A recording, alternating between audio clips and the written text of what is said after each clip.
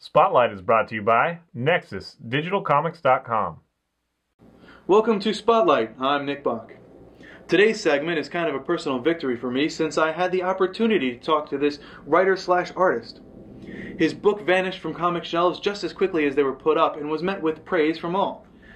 With a rich story and amazing art, Ken Garing builds an expansive universe in Planetoid. The story is fluid and multifaceted, making an easy and extensive read. Striving for greatness, each issue is 30 plus pages long, making it a worthy contender for quality books above and beyond the typical indies. More amazingly, the art, which was pen and inked by hand and then converted into digital, stands firm among the ocean of pages within.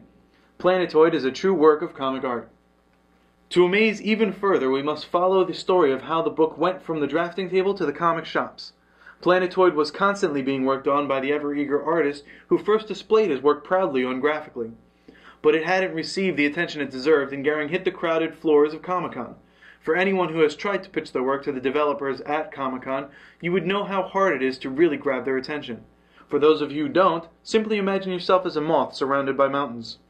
Ken managed to turn heads at the image booth with his refined work, and they agreed to publish it. The first issue was released earlier this year and was the first of a five issue story arc.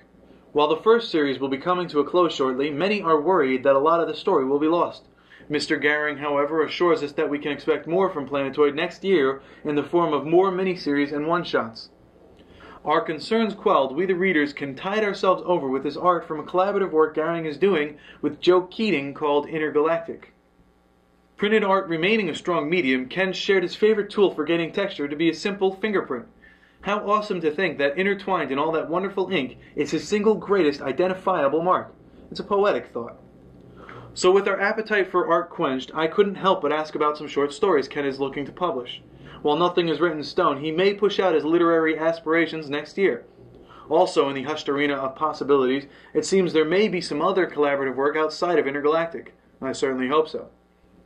With an interest in art history and a lot of introspection and analysis, Ken Garing has hit the comic scene hard. We can look forward to many more great things these next few coming years, as our already well shaped creator refines himself and his process into a wonderful experience for fans everywhere. So that's our spotlight on a man who stands among mountains, Ken Garing. I, personally, am overwhelmed with excitement for the future works and expect a lot of greatness. So I'm Nick saying support your local comic shop, and thanks for listening.